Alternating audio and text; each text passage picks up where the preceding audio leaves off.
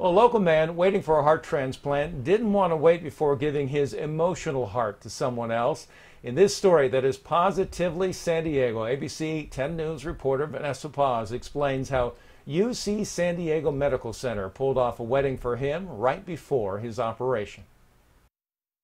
As Dave Reynoso waited for a new heart, his fiancee Vicky stayed as close as she could amid a pandemic. Our unit is on the fourth floor, so there's a window. She would always come and visit outside of the window and look up at him, and they'd be on the phone, so at least they could see each other, even though they weren't able to be face to face and have that physical touch. They'd been together for 11 years. He's my uh, She's my angel. Diagnosed with congestive heart failure, Reynoso spent 42 days in the hospital waiting for a transplant. But before it happened, told me was is he felt like he waited too long and was gonna miss his opportunity, and um, he just wanted to get it done. Dave wanted to marry his fiancee Vicky. If something happened, uh, I, w- I wanted to be her husband.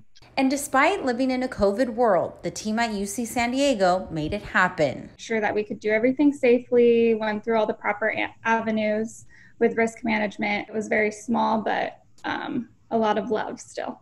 Even though the ceremony was unconventional. And Vicky as your wife? Yes, I do.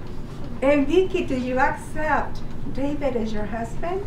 I do. Dave and Vicky said it was perfect. It was something that we all needed. A little bit of happiness, a little extra that we could do for someone and witness, and it was really great.